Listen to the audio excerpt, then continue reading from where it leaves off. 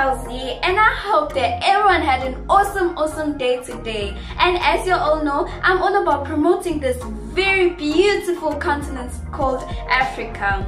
So in today's video we'll be talking about the five different regions of Africa which is North Africa, Southern Africa, West Africa, East Africa and Central Africa. So let's start from the top with North Africa. In North Africa you find countries like Egypt, Algeria, Libya and Morocco.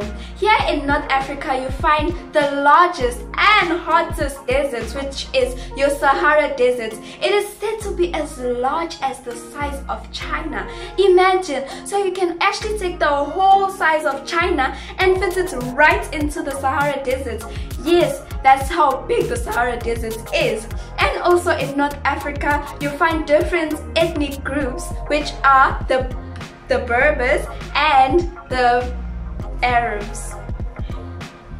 And moving on, we move on to West Africa. In West Africa, you find countries like Cote d'Ivoire, Senegal, Liberia, Benin, and Nigeria.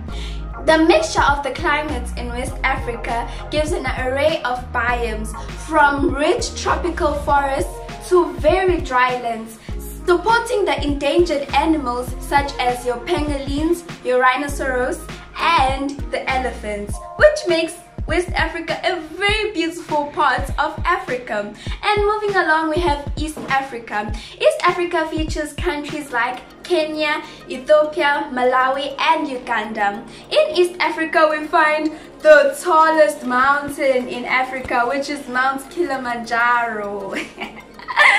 you know the song I'm thinking about. You know the song. It's Kilimanjaro. Kilimanjaro. Hey, Kilimanjaro. Guys, I don't know how to dance, but yeah, you know the song Kilimanjaro. Come on. If you know the song, please comment down below. Anyways, um, East Africa is very famously known for its tallest mountain, which is Mount Kilimanjaro, and the largest lake, which is Lake Victoria and it also has the world's second deepest lake which is Lake Tanganyika. And also we find the longest river in Africa which is the Nile River.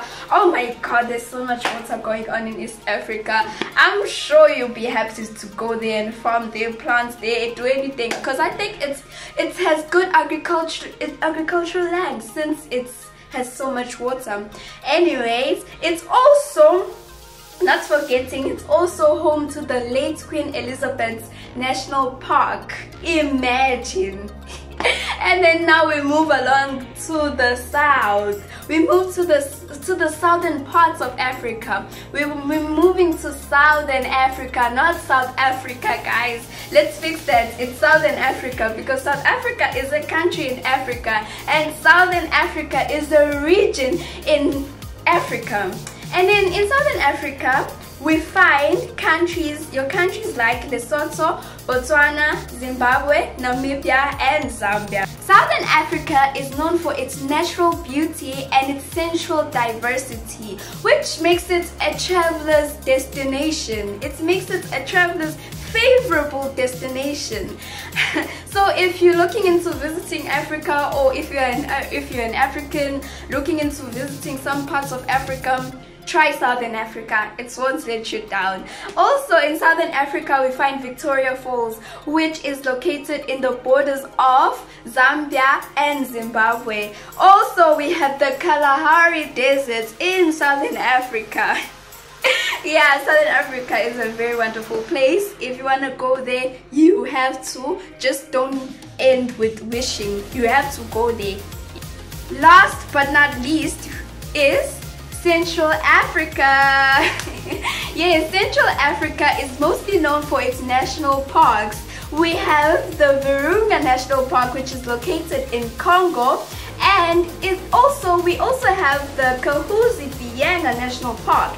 These parks have animals such as your lion, your elephants and gorillas in volcano slopes. Imagine gorillas I wish I want to go there. I have to go there one day. Like, guys, have you ever, anyone has ever seen a gorilla live, like face to face? If you have, please, you know, you have to go down there in the comment section and tell me all about it. How was the experience? Because wow, I want to see a gorilla live.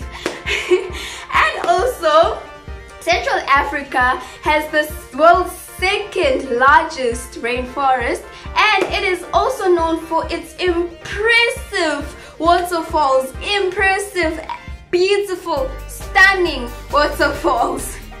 Which makes it a go-to destination for me and I'm going there soon. You'll see me there. And yes um that is it for today guys. And please do not forget to like comment and subscribe. Come on guys. And also for, don't forget to hit your post notifications. Hit the hit that bell that's post notification bell so you don't forget any uploads.